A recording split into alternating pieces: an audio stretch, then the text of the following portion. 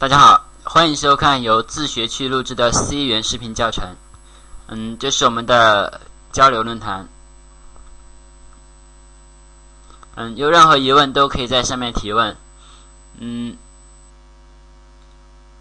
那么我们今天呢是讲我们的 C 语言第十二课，C 语言的表达式和语句。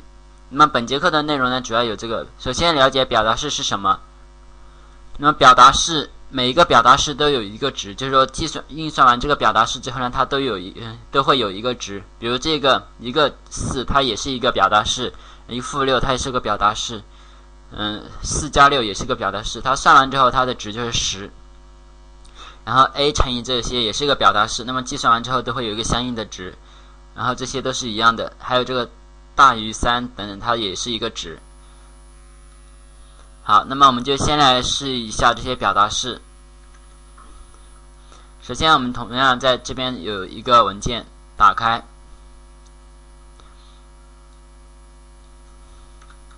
那么我们像这样，嗯，我们 C 语言中每一个表达式后面基本都要有一个逗嗯分号。那么比如说像我们这一个数字四，一个分号，那么这样也是可以编译过。那么我们 CMD，然后进到我们的 G 盘。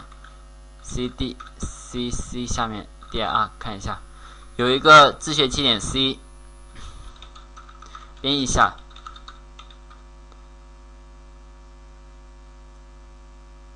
好，没有问题。然后运行一下 a 点 x 一，它没有没有任何错误，就说明我们这个四它是一个表达式，也是没有错误。然后这边我们比如说我们这一个输出一下。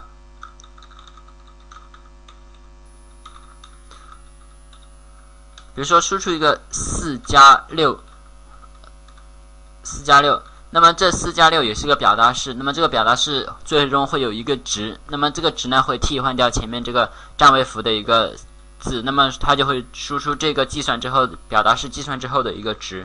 那么运行一下看，好，先编译 a，好，运行的是十，那么就这个四加六这个表达式运算之后的一个值。那么这就说明每一个表达式呢都有一个值。嗯，像这些我们就不一一去测试了。这个嗯，表达式这个东西很很容易理解，就是相当于一句话就是一个表达式一样。那么我们接下来来看一下逗号运算符。那么逗号运算符呢用的比较多，很多情况下在后面的课程中会用的很多，前面其实也可以用。比如说像这样的，比如说我们这样。首先，定一个 a，a 等于就 a 吧，a 给它初始化一个零。好，那么 a 等于我们逗号怎么用呢？逗号可以这样，比如说一逗号二逗号三四逗号，那么这样，那么逗号把一个一个前面之之间都是一个表达式，把它的表达式隔开，就是这样。那么这个 a 的值。它运算的时候呢，会这样，从左到右依次运行。首先运行第一个，然后再运行第二个，然后再运行第三个，那么一直到最后一个四。运行到这之后，再返回，把这整一个作为一个表达式，把这整个表达式的值呢，这整个表达式的值就是计算的最后一个的值，就是最后一个表达式的一个值，就是整个表达式的值。那么这样呢，a 就等于了四。我们可以输出的这个 a 来看一下。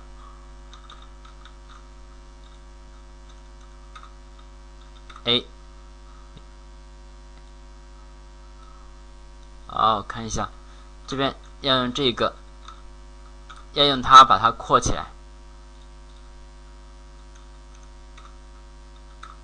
这样才行。那么这个括号就是把它扩起来，表示整一个是一个表达式，然后这个 a 它就会返回这个。那么这就是这样，整个逗号表达式，我们可以百度搜。加深一下理解。嗯，C 语言逗号表逗号表达式或者逗号运算符。嗯，这边百度知道第一个就有，那么我们来看一下。那么这边有点杂乱。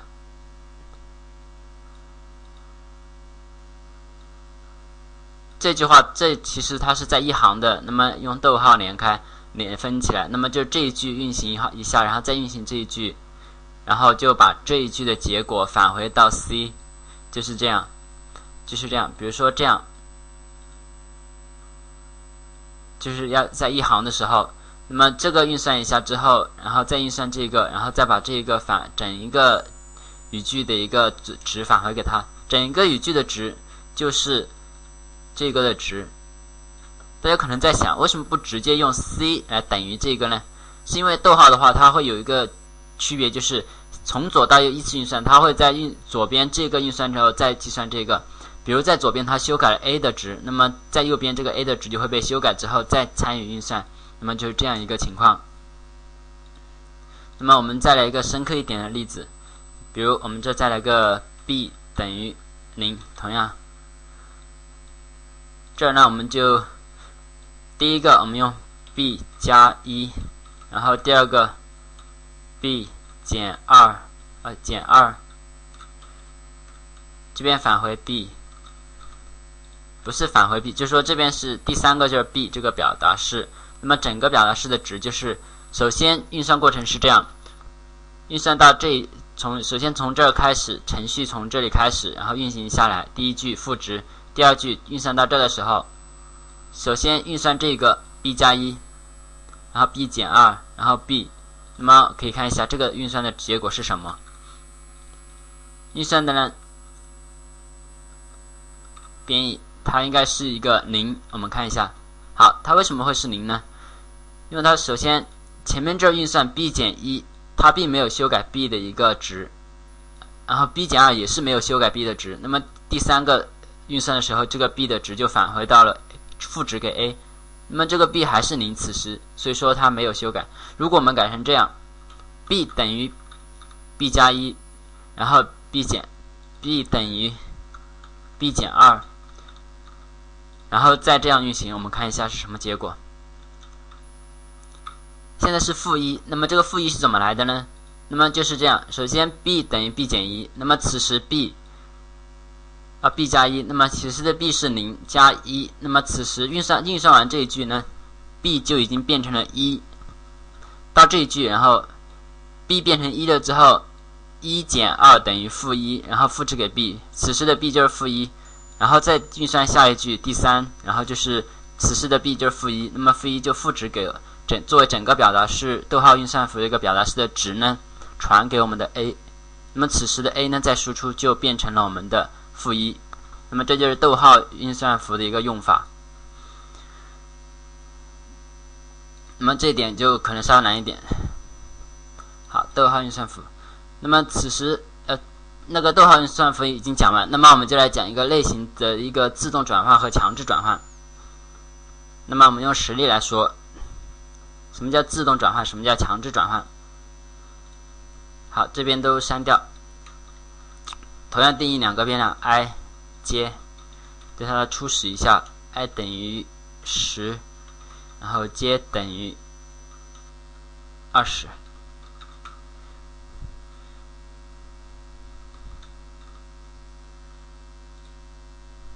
嗯，比如还再定义两个，或者定义一个吧，强接，好接变成一个字符型。好，在这边有个自，先说自动转换。首先，我们这样输出，输出我们的百分号 c，用字符的形式输出，或者这接改成九十七，这样我们用接。那么在这儿，我们这儿明明给它是一个九十八，然后这儿输出 i，这个 i 我们这是。整形的数是个整形的，那么在这儿我们输出的时候呢，做一个嗯字符型的，在这个情况下，它就会 i 就会自动被转换为 char 类型的来输出，这就是自动转嗯自动类型转换，它会自动把它转换为这个类型。我们看一下。它自动转换类型输成了一个输出一个 b，那么这就是说这个地方就是嗯 C 语言中的一个自动类型转换。自动类型转换。自动类型转换，它转换成了一个百分嗯百分号 c 所能那个输出的一个字符型的数。还有什么呢？还有比如说，我们再定一个嗯 float f 吧。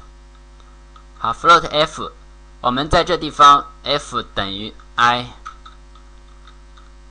那么这个地方也会进行一个自动的一个转换，就是什么呢？i 这个整形的转换到 float 型的，那么这个 i 线是九十八，转换到 float 类型，那么它就自动转换成浮点型的数据。嗯，那么比如说我们的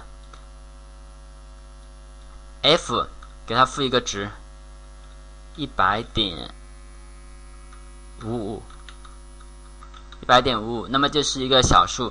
那么我们比如说我们要 i 等于 f 呢？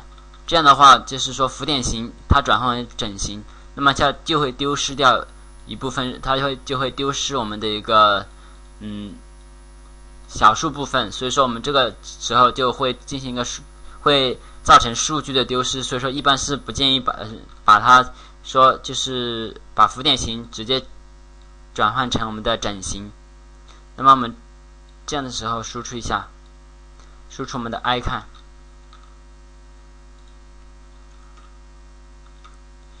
看，它就没有了我们的一个浮，没有我们的五五这个。那我们用 F 输出看一下，